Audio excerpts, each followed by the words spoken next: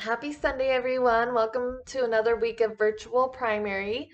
Um, today, our Come Follow Me lesson, we're going to talk a little bit about the Book of Mormon, which is what we're studying this year. And we're going to talk about it with uh, the Bible as well.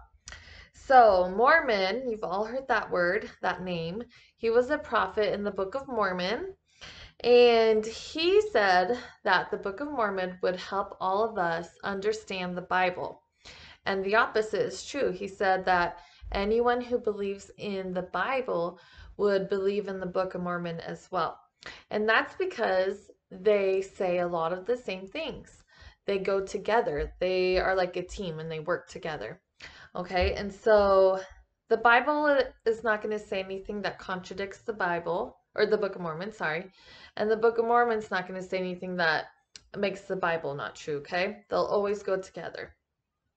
And that's why we use both of them, and we have both of them in our scripture case when we take it to church. Okay, and it says that I want to show you guys something. Um, underneath the Book of Mormon, it says down here, it says another testament of Jesus Christ. So I want to know why does it say another testament of Jesus Christ? What does that mean? Where's the first testament? What are they talking about? So if you go into your Bible, it says the Old Testament. Okay? So we have the Old Testament, that's where you'll find stories about Moses and Noah and all those stories that you've heard before. And then, if you go a little further in the Bible, we have the New Testament. And right there, it says the New Testament of our Lord and Savior Jesus Christ. Okay? So we have the Old Testament, the New Testament, and then another testament. Okay, and so I think they, they put that on there so that everyone would know it goes with the Bible. They work together, okay? Um, and you need both. You need both of them to have the whole truth and have everything that Heavenly Father and Jesus Christ want us to know. Okay? All right, and it also says, it talks about how um, there's a lot of similarities in the Book of Mormon and the Bible. So when you think about Christ's life, um, in both of these books, the New Testament and the Book of Mormon, it talks about Christ being born and that he's our Savior and it talks about how people prophesied that he was going to be born. Prophets knew it was going to happen, they told people. It talks about how we knew Christ would suffer in the Garden of Gethsemane, and that's called his atonement, that he died for us. After he was in the Garden of Gethsemane, he died for us, he hung on the cross. And that is told about in both the Book of Mormon and the New Testament. And then it also talks about how he was resurrected. After he died, he was resurrected. And he was the first person on earth to be resurrected. And because he was, that means that all of us will be as well. Okay, after we die, we will be resurrected, just like Jesus. And I want to show you guys a cool map. This is my kids' book I stole. It's one of my favorite books. It's really pretty. And it's a bunch of maps. So I know the words will be backwards for you guys, but over here is North America, and that's where we live. We live in the United States, so we're probably right around there in Idaho. And um, way over here, so we're over here. You go way over here. You're going to find a tiny little country over here um, in Asia called um, Jerusalem is over here, Israel. And there's Jerusalem. And that is where Christ lived his life, okay? And that's where a lot of the Bible takes place, is in Jerusalem, okay, over here. And then the Book of Mormon is over here in North America, okay? So it's just different locations. Of course, the Book of Mormon starts over by Jerusalem because that's where Nephi and Lehi live, okay? And that's where they left. And then I want to show you a closer up picture. Okay, so this is Asia. All right. And you can see that Asia is huge. So here's Russia up here, China. And so right in here, oh, let me find it. I'm all backwards. Right over here, you will find Israel. And I know it's kind of blurry for you guys, but Israel's right here and Jerusalem's in there. Okay, so this is Africa down here. Okay, Egypt is right here. All right, Europe is up there. Okay, just to give you an idea of where it's at. So that's where Jerusalem is. And here's the United States. And we're over here in Idaho. Okay, so it's far, far away from us, is where the Bible took place.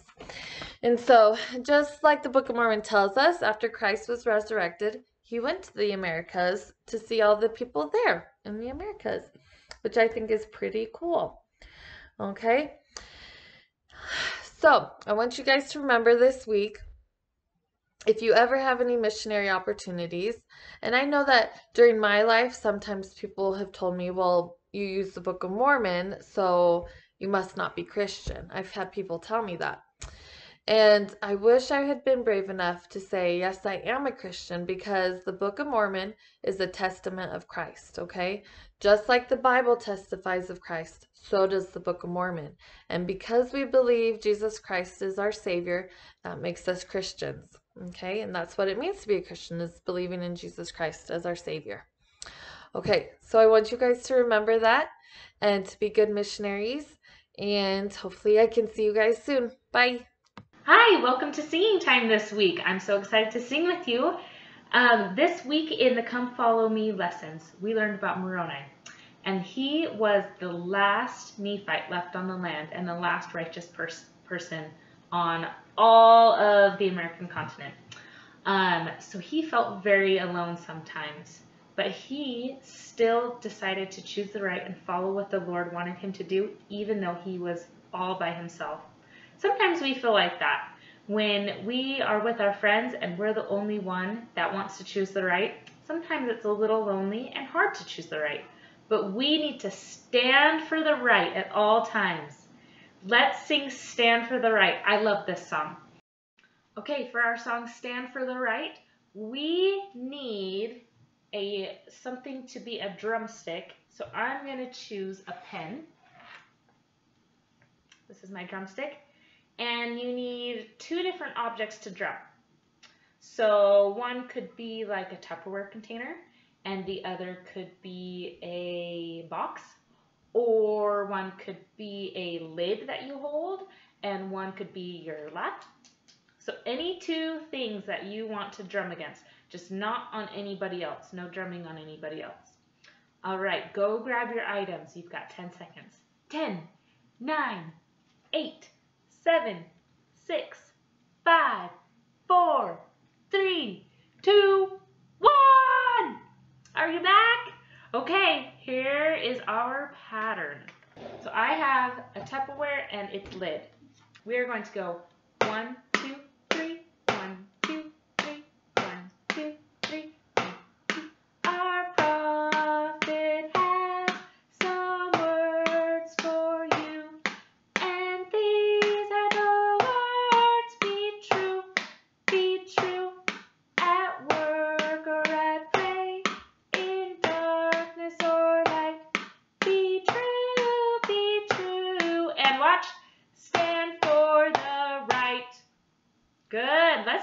some music.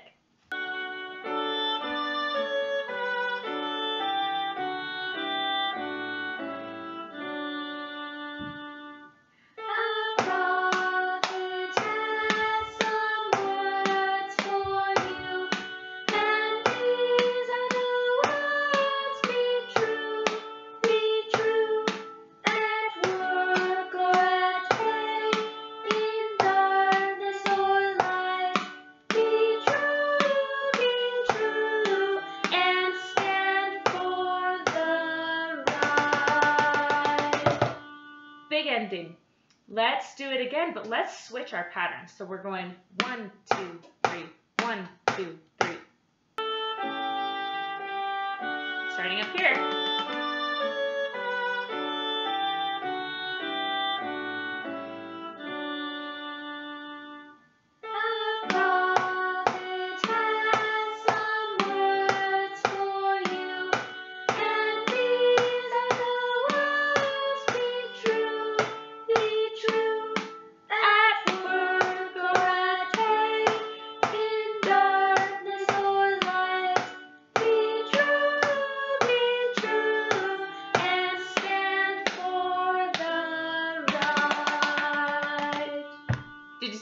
up. Oh, I don't know where my brain goes sometimes.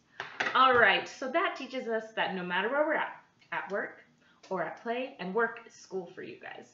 At work, at play, when it's dark outside, when it's light outside, we are going to stand for the right and do what's right, just like Moroni. So another way that we can stand for the right is by showing love for everyone. We are going to sing Jesus said love everyone. And for this, I need you to get a special magic marker. Hold out your hand, grab your special marker. This special marker can create any color that you want. So I'm going to show you the pattern that we're going to do with our magic markers. Here is the pattern that we are going to draw. It is loop, loop, loop, stop. Little stop there. Okay, can you do that? Loop, loop, loop, stop. Now can you do it the other way? Loop, loop, loop, stop. Good job. All right, let's sing our song. Okay, what is your first color going to be? Mine is going to be pink with a ton of sparkles, just so many sparkles. Okay, what's your first color? Oh, that's really good. Okay, let's sing it.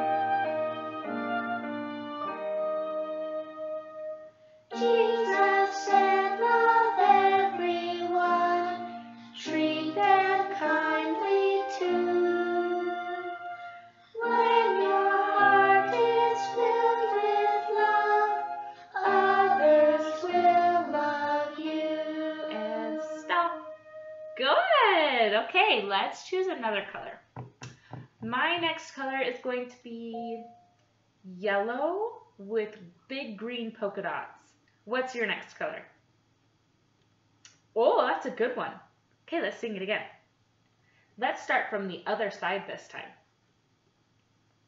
Over here.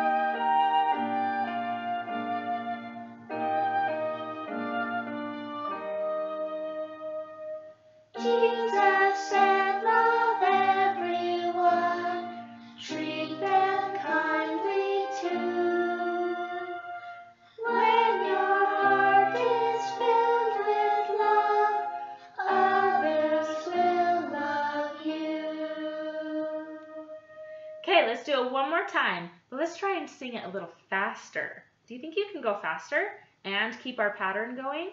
I think you can do it. Let's choose one more color. For my last color, I think I'm going to do, I'm going to do the night sky with stars. Okay, what's your very last color? Oh, that's a good one. Okay, here we go.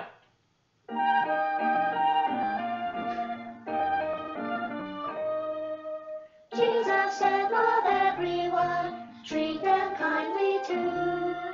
When your heart is filled with love, others will love you.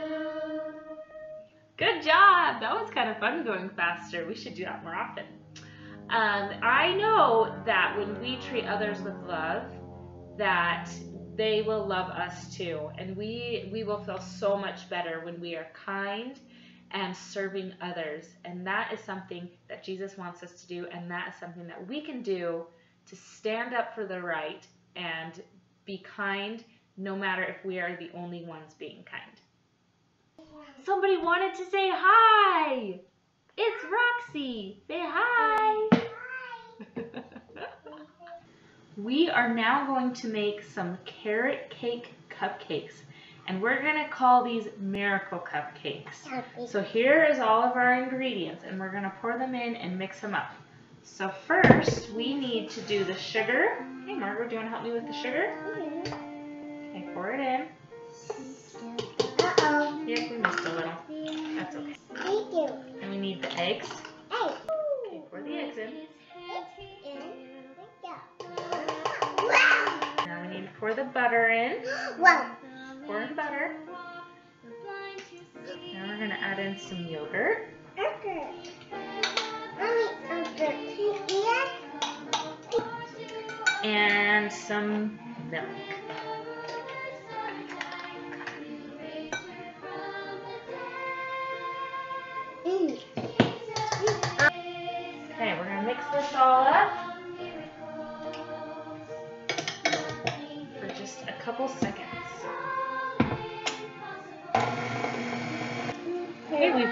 Our wet ingredients mixed together. Now we're going to add our dry ingredients. Move this out of your way. Okay, Marty's going to dump it in. We've got our flours in here. Then we've got salt, baking powder, baking soda, and some pumpkin spice in here. Okay, do you want to pour this in? Okay, we're gonna mix this up now. Okay, it's all mixed together. Now at the beginning, what kind of what kind of cupcakes did we say these were? They're gonna be carrot cupcakes. But we didn't put any carrot in. How are they supposed to be carrot cupcakes if we didn't put carrots in? That is our missing ingredient. We need to add that. So here's our shredded carrot and we're gonna mix it in. So let's talk about miracles for a second. Miracles require one special ingredient, and that is faith. Without faith, there are no miracles. Something amazing could happen, and without faith to see that it's a miracle, the miracle doesn't even exist. It's like it never even happened. So when we have faith, then comes the miracles. So when we have carrots, then comes our carrot cake cupcakes. That's why these are miracle cupcakes. So let's add this in. Now we've got all of our carrot mixture mixed in. Now you can see the batter looks like it's supposed to. We are going to put it in some cupcake uh, cupcake liners and stick it in the oven. Okay, our muffins are in the oven. And I just wanted to testify to you guys that I know that miracles still happen today and that Jesus is a God of miracles. We are going to sing that song. We're going to sing the song Miracles. And I'm going to show you guys some pictures as we sing. And I want you to feel in your heart the truth of it as we sing it. And we are going to end with that song. So, I hope you all have a great week this week after we sing this song and that you can feel the Spirit as we sing it. Here we go. For God so loved the world that he gave his only begotten Son, that whosoever believeth in him should not perish, but have everlasting life. Jesus walked upon the water. He stilled the storm and calmed the angry sea. With his hands